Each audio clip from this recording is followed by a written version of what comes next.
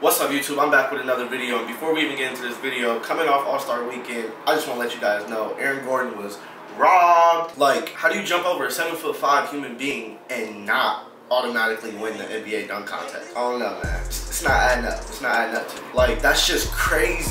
Aaron Gordon took to the public and said that he was robbed twice from 2016 dunk contest and from uh, this year's dunk contest. So, with that being said, I mean, I think he should have won 2016 and this year. What y'all think? But uh, without further ado, let's get straight into this video.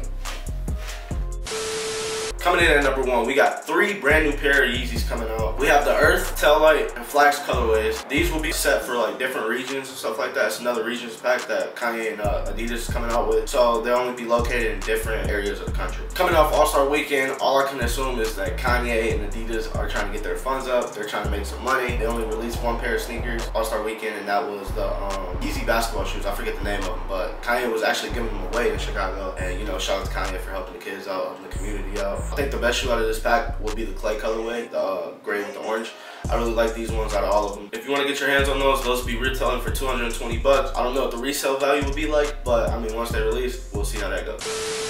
Nike is getting ready to release another pair of Black History Month sneakers. I was a fan of the Air Force One lows, uh, Black History Month. Those were kind of fire. I like how like the shoestrings were just like, I don't know, like the factory. I don't, I don't know if they're, just the pictures I saw, the lacing looked kind of fire to me. You could style it your own way you wanted to do. Stitching was falling out of it. I just thought it was sweet. I liked it. But um, Nike is releasing a pair of Air Max 95s Black History Month. And these will be retailing 180 bucks. Here we have the Air Jordan 1 Pine Green colorway. My latest video, I actually did an early look on these, so if you guys want to check them out, the link will be right here. Go check it out. Luckily, I was able to walk in the finish line, talk to a lady, get an early look at the sneaker. The leather on these sneakers are really good. One thing I don't like about the sneakers is the wings uh, logo. It looks kind of like plasticky. When I looked at it in person, I didn't really notice it like that, but in pictures, it's really noticeable. These be retailing 170 bucks. I don't know if every store will be doing raffles on these or not, but a couple stores I went to uh, in my local mall said they were doing raffles on them.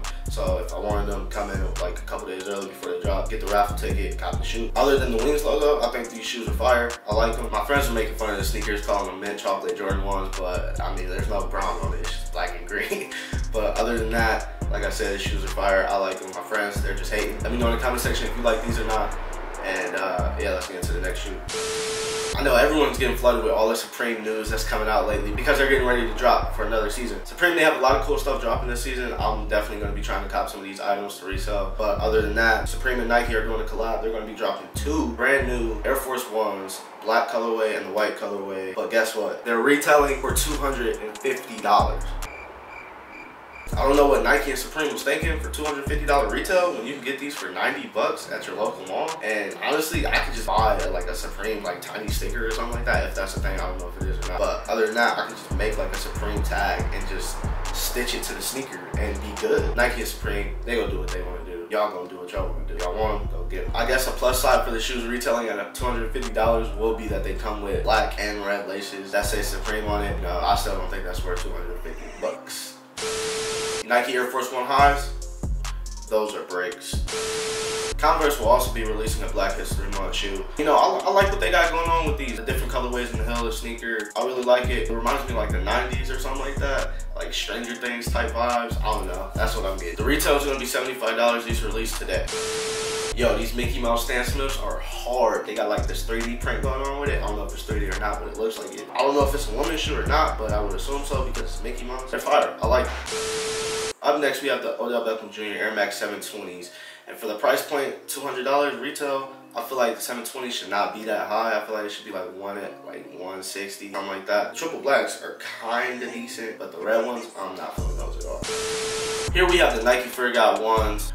You know, I don't understand why Fear Guys are $350 retail. I don't get it. Maybe it's the quality on the shoe or just the name of the creator. 350 retail, that's a lot. I was on Twitter the other day and I saw this kid giving away a pair of the yellow ones that released, I think it was last year. Kid was just giving them away to someone. I was reading through the like replies of the tweet and they were like, this kid's stupid, blah, blah, blah. Like he gave away a pair of like retail $350 pair of shoes, but they resell for like a thousand bucks and he just gave them away for free. So that kid got hate for it, which I don't understand. He wanted to give them away. He wanted to give them away. He had the money to pay for his shoe for $350. He didn't care about the resale. he obviously wore it and he was like, I'm gonna give it to someone who needs. It. He got hate for it, which I don't understand. Last but not least, we have the Off-White Jordan 5's cream colorway. So Virgil teased us with a video of a cream colorway getting like cut out or something like that with the, you know, like the, you can create your own shoe, like when he teased us with the video with the black pair. And it was girl doing it with the cream pair. I don't really know how to feel about the cream pair. I'm more of a fan of the black pair. Retail be 200 and like, I think 20 bucks. There's no idea when these sneakers are releasing, but I'm pretty sure it'll be pretty soon because the other colorway came out recently that's gonna be it for today's video. If you guys enjoyed this video, make sure you leave a like, click that subscribe button below, show some love in the comment section, share this video, and